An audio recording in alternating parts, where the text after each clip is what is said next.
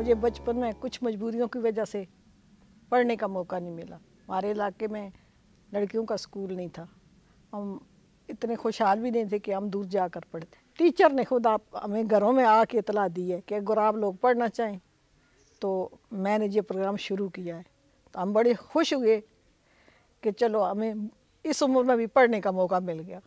मेरी एक छोटी मोटी दुकान है, जिस पर मैं उंगलियों से हिसाब करके तो ग्राहकों को चीज़ें दिया करती थी। मोर कभी याद नहीं रहती थी, देखती रहती थी कि कोई बंदा आ जाए मैं उससे लिखवा लूँ। वो कर पहले उंगलियों पर ऐसे, जैसे पुराने ज़माने में करते थे मतलब किसी ने दस रुपये देने हैं तो मैंने उसको पाँच वापस करने हैं तो वो तो आ जाता था। लेकिन जब सौ रुपया देते हैं, उसे सत्तर, पचहत्तर वापस करना फिर मुश्किल होती थी।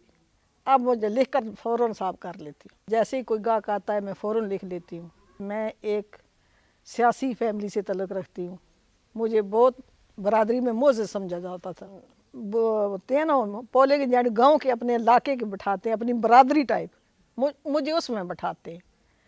अक्सर औरतों में ना मुझसे ज़्यादा अतमाद करते हैं, भाई ये तो एक मतलब है, जानती बूझती है, बात अच्छी तरीके से करती है झगड़ा लू नहीं है, ये इस वजह से। तो पहले मुझे नहीं ना लिखना आता था तो मैं अंगूठा लगाती थी।